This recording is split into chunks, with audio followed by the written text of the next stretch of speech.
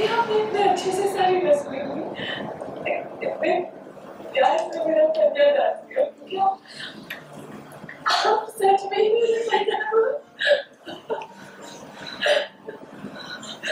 मुँह से निवाला छीनना वाली बात हो गई मतलब कि इतने क्लोज आ गए थे अ, भीरा और रूही सब कुछ तीन महीने से अच्छा चल रहा था।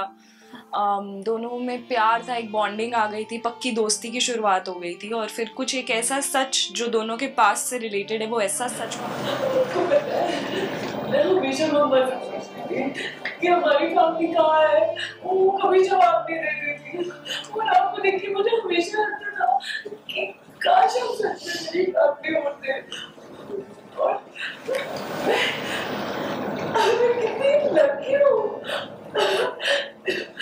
आप सच में मेरी फैमिली हो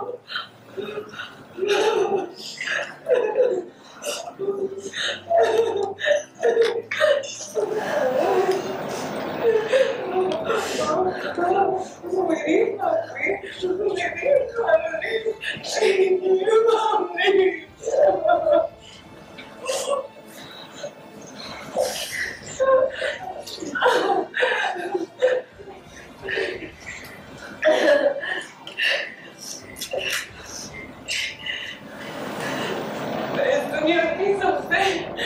सबसे लकी लड़की हूँ। दुनिया की सबसे बेस्ट फैमिली मेरी फैमिली है मेरी फैमिली मेरी फैमिली कुछ बाहर आया कि यू नो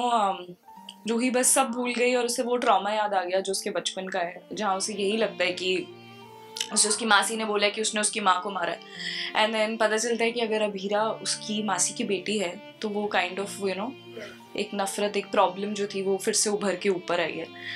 तो हाँ बट बहुत इंटरेस्टिंग सीक्वेंस है आई होप सब देखें और uh, अब जब अभीरा और रूही का प्यार देखा है तो आई थिंक उसको क्रेव भी करेगी ऑडियंस